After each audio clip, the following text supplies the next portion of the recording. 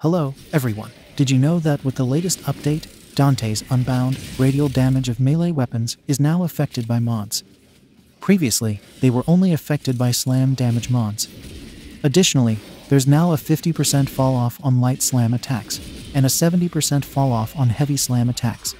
But it doesn't matter much since we are already dealing an absurd amount of damage.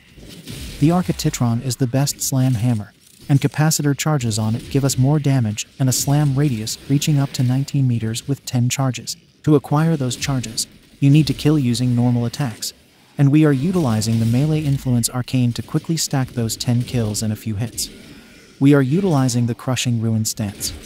We will employ the forward block combo to gain combo and execute two 360 degree spin attacks. However, we need to stop before it slams to prevent removing our charges. Or we can use forward melee attacks as that combo does not involve any slam attacks.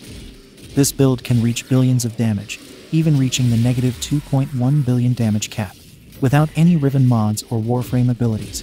Since this is a pretty slow hammer, we are using Arcane Strike in our build. We will be employing the Nautilus Sentinel to group enemies to squash them faster. We can also one-shot most enemies that can be one-shot, like this Acolyte right here. We're even able to one-shot disruption targets, despite their significant armor and damage reduction. When paired with Armor Strip, it can effortlessly one-shot level cap enemies with ease. Here is my Inaros build, enhanced with two Nera mods for increased slam damage. We will be using Naramon Focus School along with Dexterity Arcanes for slower combo counter decay. This is my Arca Titron setup, optimized for maximum heavy attack efficiency with these two mods, while also acquiring electric damage from melee influence. Finally, here is my Nautilus setup for grouping enemies efficiently.